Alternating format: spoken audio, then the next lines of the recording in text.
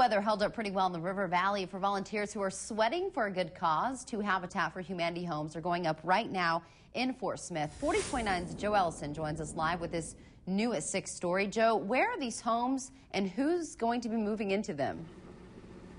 Well, the homes are right here on Bell Avenue, and take a look at them. They're going up pretty fast. Now, this is the 83rd and the 84th home for families right here in the River Valley, and it's families who need a helping hand that are going to move in with the help of people from all over the world. I share a bedroom with my youngest daughter. I'd like for them to have their own room and to have a house that's big enough and nice enough that they bring their friends. Sharon Burcham will soon have her wish. This one's mine here on the corner. It's a three bedroom, two full bath home.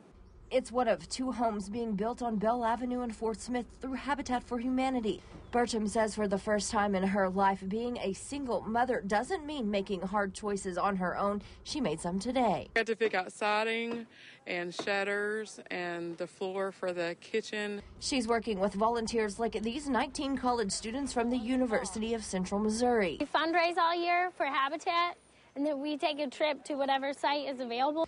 Families who move into the homes have to be able to make a 350 to $400 house payment, and they have to put in 300 hours of build time. Really cute place.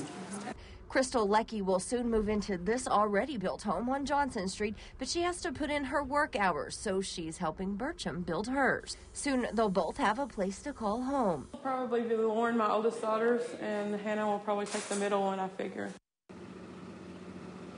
Now, these two homes are expected to be finished in late May. They'll work every day that they have volunteers, and they hope that people within the community will come out and help them until they are finished. Angela, back to you. It's great that they're doing this on their spring break. Thanks, Joe. Coordinators say once they finish that house, they'll be looking for volunteers for the next build in late May.